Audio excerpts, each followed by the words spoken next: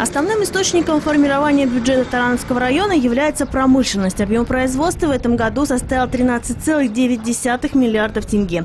Это четвертый показатель по области, отмечает глава района Бакберген Утиулин.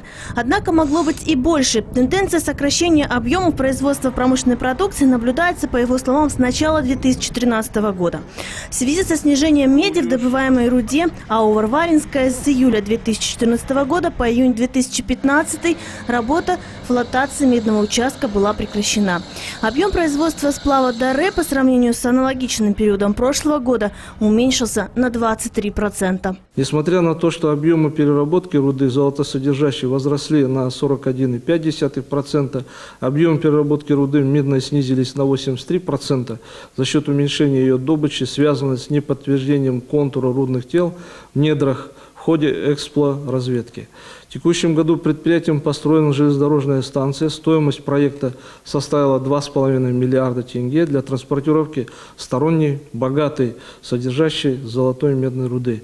Согласно производственным планам предприятия до конца года будет наблюдаться снижение производства, но при этом численность работающих это порядка 700 19 человек, и среднемесячная заработная плата сохраняется на уровне прошлого года. В текущем году предприятием построена железная станция для транспортировки сторонней богатой золотой руды. В настоящее время достигнута договоренность со Свердловским месторождением на поставку руды в объеме 20-25 тысяч тонн в последующие два года. Также ведутся переговоры с владельцами Комаровского и юбилейного месторождений. Проблемным вопросом остается развитие перерабатывающей отрасли. Несмотря на рост производства мяса и молока, в районе функционирует только два колбасных цеха, отсутствует цеха по переработке молока. Здесь сказывается близость э, городов, расположенных, это город Трудный, город Лисакос, где развита переработка. Мы готовы рассмотреть любые предложения со стороны предпринимателей и оказать посильную помощь для развития данного направления в районе. В этом году в экономику Тарановского района инвестировано почти 5 миллиардов тенге. В прошлом году объем инвестиций по району достиг рекордной отметки и составил более 11 миллиардов тенге.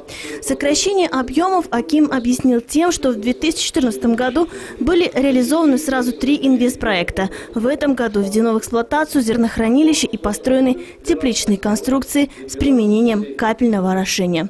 Диар Ахмечин и Татьяна Калюжная, РТН.